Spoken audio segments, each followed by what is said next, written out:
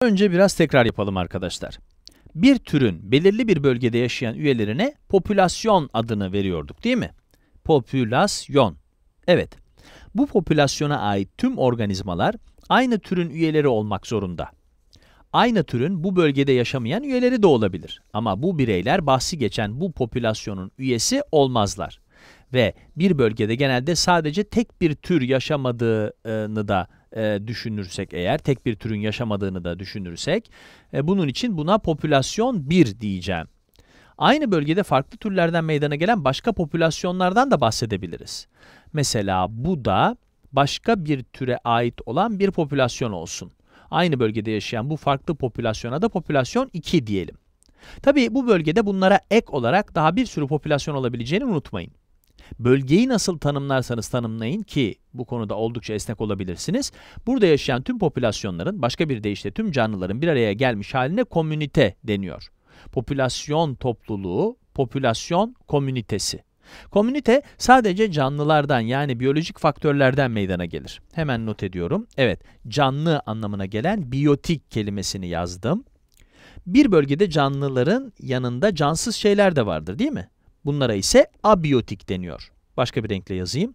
Abiyotik faktörler ya da abiyotik çevre de diyebiliriz. Tanımı her ne kadar esnek olsa da hala en başta tanımladığımızla aynı bölgeden bahsettiğimizi bir kere daha hatırlatmak istiyorum. Evet, şimdi tüm bunları yani canlı ve cansızları bir araya topladığımızda ise artık bir ekosistemden bahsediyor oluruz. Ekosistem küçük ya da büyük bir bölgede olabilir ama bahsi geçen bölgedeki biyotik yani canlı ve abiyotik yani cansız faktörlerin tamamından meydana geldiğini unutmamalısınız. Bu videoda karşımıza çıkabilecek ekosistem çeşitlerinden bahsedip bir ekosistemi oluşturan öğelerin birbirleriyle nasıl bir etkileşimde buldukları üzerine biraz düşüneceğiz.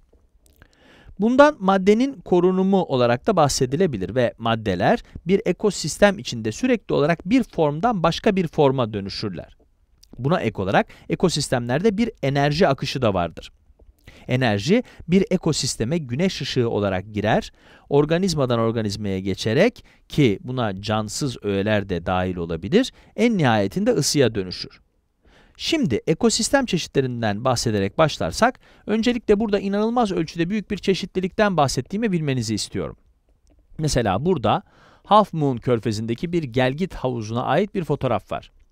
Belli bir gelgit havuzundaki su veya mesela buradaki kaya gibi abiyotik faktörler ile deniz yıldızı ve anemonlar gibi biyotik faktörler bir araya geldiğinde bir ekosistem oluşur.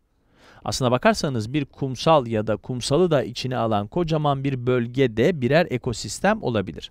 Bu durum tamamen bir bölgeyi ne kadar yakından ya da ne kadar uzaktan incelemek istediğinizle alakalı ve uzaktan incelemeyi de seçebilirsiniz. Burada Amazon yağmur ormanlarına ait bir fotoğraf var. İsterseniz bu ormanın tamamını kaplayan alanı bir ekosistem olarak ele alabilirsiniz. Ya da bu ormanın küçük bir bölümünü, mesela burasını incelemek isterseniz de sadece bu bölgeyi bir ekosistem olarak değerlendirebilirsiniz. Aynı şekilde nehrin tamamında neler olduğunu bir ekosistem olarak ele alabileceğiniz gibi, nehrin sadece belli bir kısmında neler olduğunu da başka bir ekosistem olarak değerlendirmeniz mümkün. Eğer fark ettiyseniz bahsettiğim ekosistemlerin bir kısmı karada, bir kısmı ise suda. Bu ekosistemleri sınıflandırmak için kullanılan yöntemlerden biri. Evet, ekosistemleri kara ve su ekosistemleri olarak ikiye ayırabiliriz. Su ekosistemleri de kendi içinde ikiye ayrılır. Bunların arasında tuzlu su olanlara deniz ekosistemleri adı verilir. Deniz ekosistemleri denince akla genellikle hemen en büyük yaşam alanı olan okyanuslar gelir. Buna ek olarak bir de tatlı su ekosistemleri vardır ve bunlar suyu tuzlu olmayan e, su ekosistemleridir. Mesela Amazon ormanlarında gördüğümüz bu nehir tatlı su ekosistemlerine bir örnek. Yaşamaya devam edebilmek için tatlı suya ihtiyacımız var. Ve her ne kadar etrafımızda birçok büyük nehir olsa da yeryüzündeki su ekosistemlerinin büyük bir kısmı tuzlu sudan meydana gelmektedir. Evet, tüm su ekosistemlerinin sadece küçük bir kısmını tatlı su ekosistemleri oluşturuyor. İşte size birkaç örnek vermeye çalıştım. Bu arada vücudumuz bile aslında bir ekosistemdir ya da vücudumuzun belli bir bölümünü bile bir ekosistem olarak kabul edebiliriz. Mesela buraya bir el çizeyim. Bunun elim olduğunu düşünün. Elimin üzerindeki şöyle küçücük bir alan bile aslında bir ekosistemdir. Ve bu ekosistemi incelerken burada yaşayan bakterilerin cansız öğelerle yani mesela havayla nasıl bir iletişim e, içinde olduğuna bakabiliriz. Ya da elimden salgılanan yağ ile ölü deri hücreleri ile hatta ve hatta canlı deri hücreleri ile ya da bizzat benimle. Şu anda ekosistemleri nasıl sınıflandırabileceğimizi konuştuğumuza göre kara ekosistemlerin alt gruplarına da bir göz atmaya ne dersiniz? Bu görsel, yeryüzündeki farklı kara ekosistemlerini ve bunların nerelerde karşımıza çıkacağını gösteriyor. Bu farklı kara ekosistemlerine biyom deniyor. Şuraya not ediyorum, biyomlar. Görsele göre tropik ormanlara mesela burada rastlıyormuşuz. Burası neresi? Amazon yağmur ormanları. Tropik ormanları Afrika, Güneydoğu Asya ya da Orta, Güney ve hatta Kuzey Amerika'da görebiliriz. Kuzey enlemlerinde karşımıza iğne yapraklı ormanlar çıkar savan, çöl, tundra, maki, kutup buzulları, ılıman ormanlar ve ılıman çayırlar. İşte tüm bu biyom çeşitleri bu bölgelerde karşımıza çıkan ekosistemleri daha iyi anlamamıza yardımcı olur. Tabi bunların hemen hemen hepsi o bölgedeki nem, sıcaklık, kısacası iklimsel farklılıkların bir sonucu olarak ortaya çıkar.